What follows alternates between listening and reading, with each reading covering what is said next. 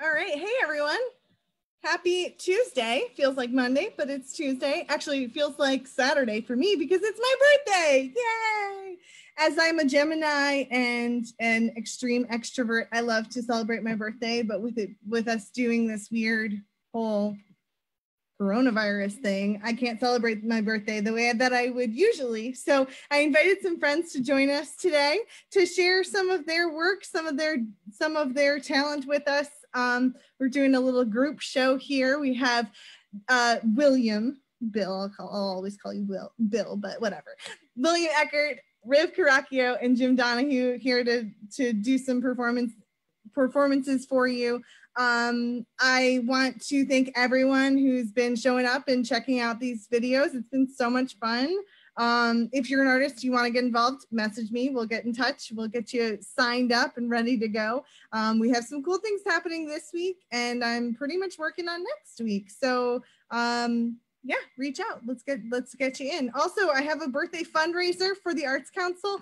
We are so happy that we've had such great support. We've had some great support from New York City Council on the Arts um, for our general operating, but and they're also hopefully going to be, well, fingers crossed, going to be giving us some extra funding because of this COVID-19 stuff.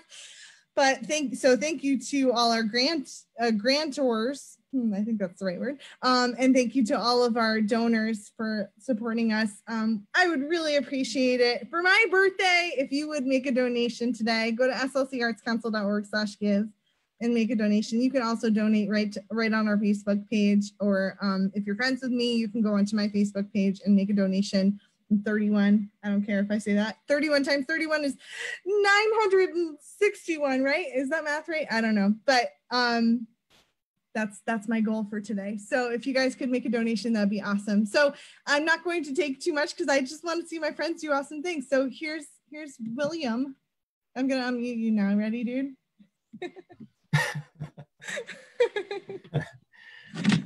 Damn it, you're good. Um, so uh, right, so this is your birthday episode, right? And it so is. that's what this is all about. And you know, I mean, uh, I formally, like, you know, my expression of love for people and appreciation is usually known through food. I grew up in an Italian family, so of course I cooked for you, but there was no card. Uh, there was no written sentiment. And though I kind of started to say it earlier, I sort of, you know, wrote a thing just to kind of the idea we talked about birthdays and how people celebrate them. And, you know, like, so for you, of course, it's more of like less of a thank you, uh, more of a less of a birthday thing, more of a thank you, right? So, I mean, you know, uh, thank you for, you know, loving your community. Uh, thank you for, you know, loving the arts. Uh, thanking you for, um, you know, bringing the two together uh, and making Potsdam and the larger area at large as special as it is. You know, it's you, you, of course, have a lot of people that have come to you because of what you've been doing. If it weren't for you, maybe we wouldn't have this. Uh, hopefully somebody would be there, but you've done this. And so for that, you know, uh, you know, thank you. You know, when people, uh, you know, are celebrated on birthdays and things, it's, um, it's a discussion as to like, you know, why we're celebrating. Nobody talks about why we're celebrating that person's birth. Um, but so with you, there can be no question, right? Uh, your selfless and your contribution to your community around you. Uh, and in fact, you know, beyond that community, because, you know, you've taken your love of the arts to the world beyond Potsdam and St. Lawrence County with this, what you've been doing with the art for art's sake and bringing it to the internet and allowing people, uh, like I have family and friends in New York City and California and that I've known about this, but I've told them about it. So you're expanding what we're doing here to a larger audience. Uh, so again, for that, thank you. Um, you know, I hope that I've said this before when I came do this last time, that I hope that despite what happens with this pandemic, that you keep doing this. Uh, I know a lot of people that I'm speaking really well of this. And so, you know, you've really taken what you've been doing to start with with the Arts Council and have allowed us to expand it to a larger audience by doing this. And I, I really hope you continue with it. So thank you, Maggie, for uh, taking the life that you were given and making it bigger than just you. So um, I'll now shut up with sentiment and read things. Uh, um, people have been talking about having weird dreams during this whole coronavirus thing. Uh, I, I, generally have weird dreams anyway, if I remember them. Um, and in fact, I, I, guess I write about them more frequently than uh, I usually do. So uh, I, I, found two separate pieces that I had written and so just combined them recently. There's no titles to these things, just one and two. So I'll, I'll start with this. one, I don't dream of real people anymore. People. Has it been so long since I've seen faces? Real, elastic, expressive. Your realness confuses, cradles me, asleep. The work has fallen away, speaks the mind. No, it hasn't, heart replies. It's awake, quiet of familiar words, loud with living. Life, not stifled, but blind bustle. Tick tock, tick tock, no time to know thy neighbor, thy neighbor. Locked indoors, in dreams of unreal people who whisper, wake up in the silence of living. Two, I don't speak in full sen tenses anymore.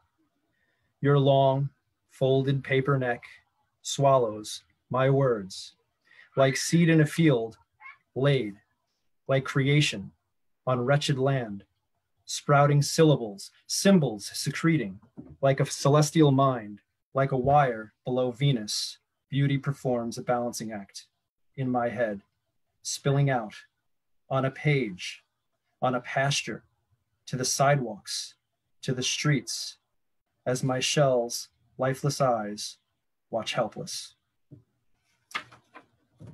Um, so there's that. Uh, more, this is all pandemic writing, really. So uh, here's another untitled piece. Hearing voices out my window, frame the movie, moving, pictures, paints, pains, pastels, impressionable impressionist people in streets, children playing, pretending, forgetting, the numbness, the numbers, eroding, families, facades, innocence abstains. I woke in pale sweat, under white hot dead stars. I'm lost of vernacular for her body, skin, still, milky, way beyond my reach. Next to me, the moon's glow evaporates the shades between us.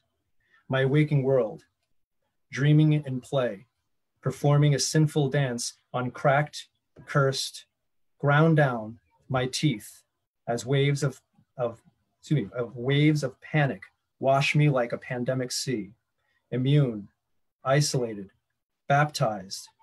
Did you speak of love on the other side of frosted glass of the window frame. Uh,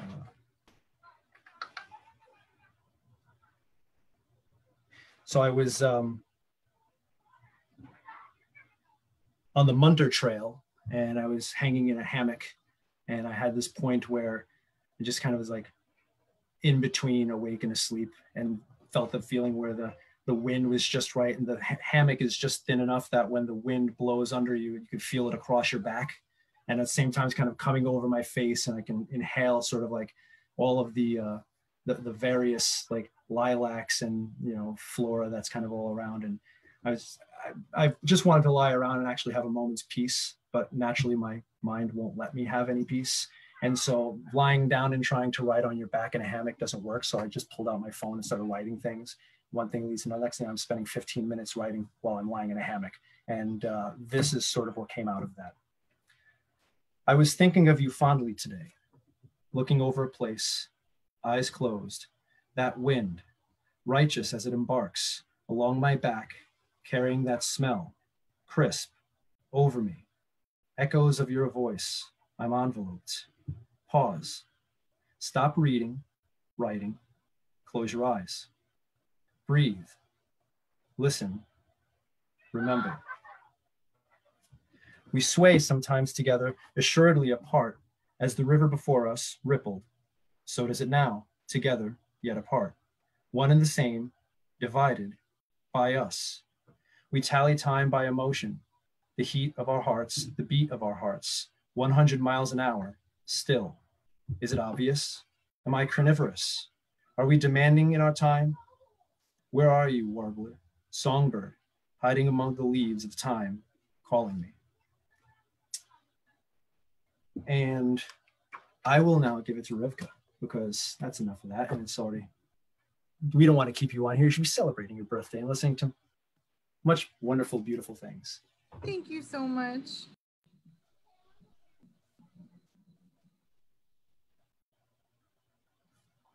Oh, Rivka needs to be unmuted and I need to be muted. Bye now. Hello, I'm with you. Um, hi, thanks. That was so lovely. So, um, hi everyone. Hi Maggie. Happy birthday. Um, thanks for having me here. You are one of the few people that I would come out of the sunshine and indoors to celebrate. Um, so I'm really glad that we can be on this platform together. Uh, so full disclosure, I saw you earlier today, and you gave me and William a tour of um, the property that you're, you and Matt are working on and renovating. And it reminded me of this piece that um, I've written, oh gosh, probably like three years back um, when I was reflecting on a time much earlier when I was first looking for houses to buy with my ex husband um, and it was it was about what it means to build a home and what it means to find a, a place to rest your soul.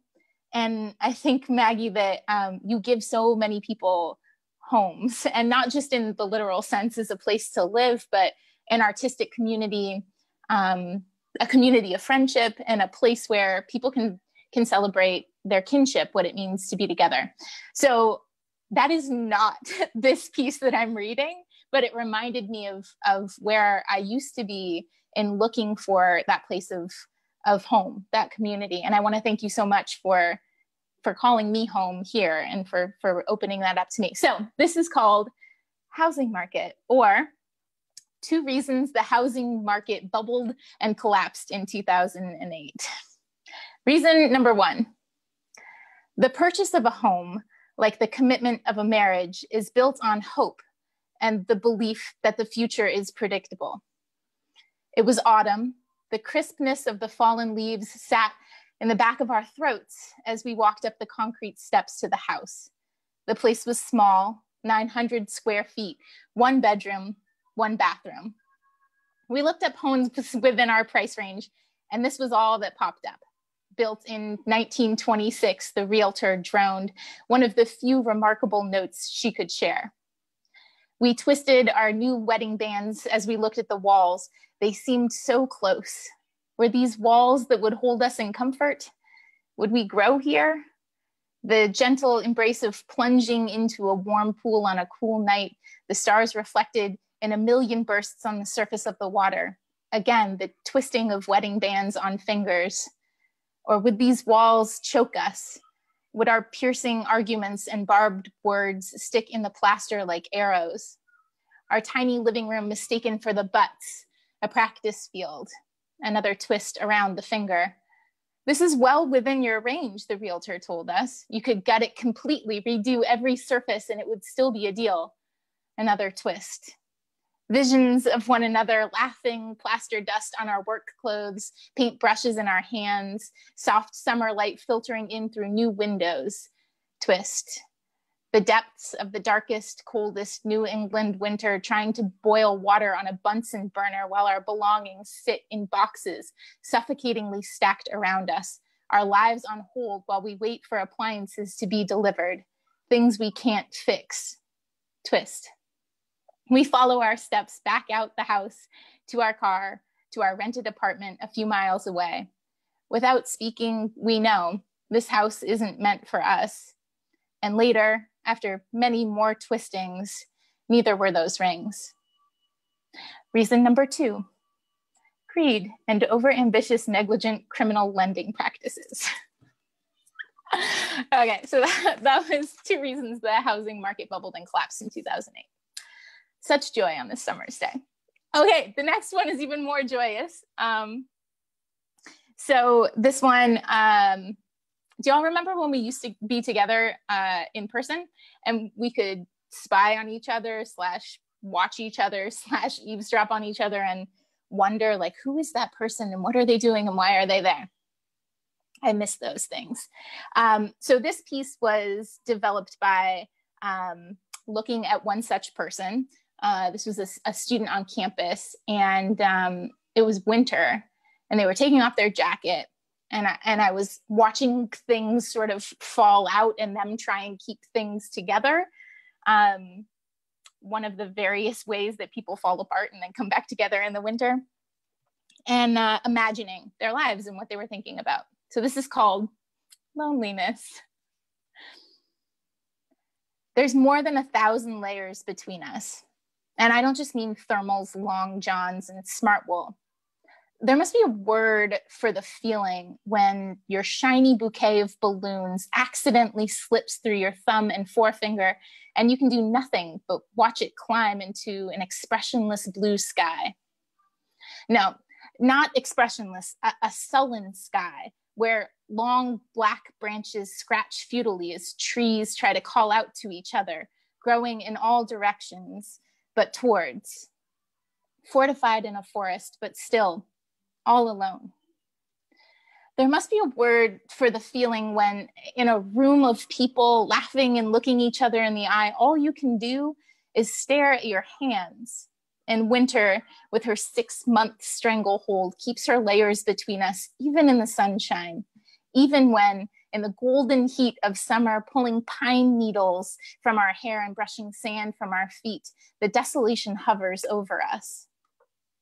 There must be a word for the feeling when I pull open my jacket and a raven escapes. I hope you see the flurry of dark wings and the cascade of feathers as I remove my scarf and hat. I hope she wasn't hidden with the flourish of my gloves. I'm whatever the opposite of a magician is, trying to show you my truth, all the sorrowful creatures I've hidden up my sleeves, trying to get you to believe in what's real. Da-da-da. So that's loneliness. it feels weird to read it on a summer's day in celebration of your birthday, but um, thank you for giving me this space and thank you for bringing all of these wonderful artists together and for all of the work that you do with the St. Lawrence Arts Council. You deserve to be celebrated today and all of the days. So many blessings to you. Thank you. I'm not crying. I just like lost my contact or something. Awesome. So Jim's gonna play us a tune, and then I think we're all we can all go back into the sunshine.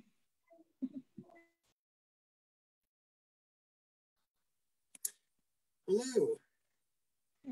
I want to join everyone in uh, saying, obviously, happy birthday, um, and and and and many, many, many more to come, and um, and also say thank you because you do so much for this community. You do so much for the arts in this community. Uh, what what is happening today is just one small piece of it. And yes, today is a beautiful day, both because the weather is gorgeous and because you are bringing artists together in celebration. And uh, when I think of celebration, I always think of music. Uh, I do not celebrate without music in some capacity, and so I wanted to share some music with you. This is, uh, in the event I horrifically mangled this piece, this is supposed to be God only knows. Um, it is very much a work in progress. So happy birthday and if the audio is is is bad, just please let me know. I don't want to kill the speakers.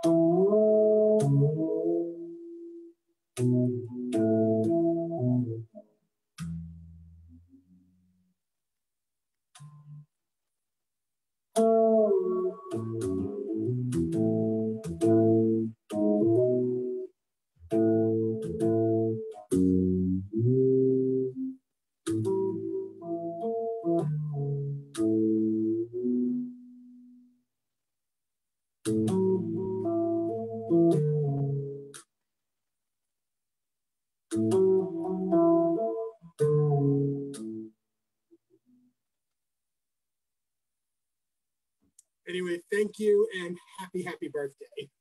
Thank you so much, guys. This has been so fun. you guys are the best. Um, I I don't even have words. Um, thank you so much for everything that you've said and everything that you've done and all of your talents that that you two bring to our community. And thank you for showing up and thank you for everything. Um, I'm gonna go and have some awesome food and cupcakes. and thank you so much for for being here and um, have a great day. I'll see you guys tomorrow.